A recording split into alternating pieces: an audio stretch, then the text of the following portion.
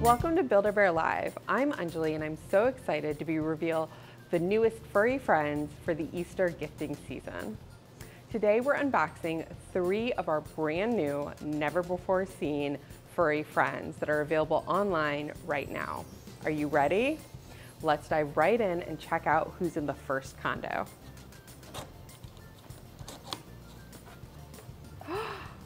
Look at this amazing bunny. It is our pastel swirl Pawlette.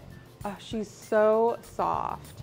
And look at all these beautiful colored swirls throughout. And inside her ear, there's pink glitter. I also hear that there is pink glitter on her paw pads. She has this beautiful sparkly dress, but let's face it, Pawlette would look good in any of our Easter outfits. I think we're off to a really great start, but let's see what's in our second condo.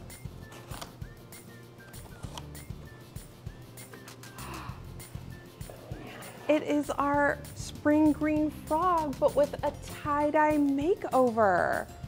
Oh my gosh, the frog looks so great. It's so soft and it has these beautiful swirls of aqua and teal and purple all throughout. Don't wait on this one, it's gonna hop away pretty fast. We have one more furry friend to reveal today, but it's too big to fit into a box.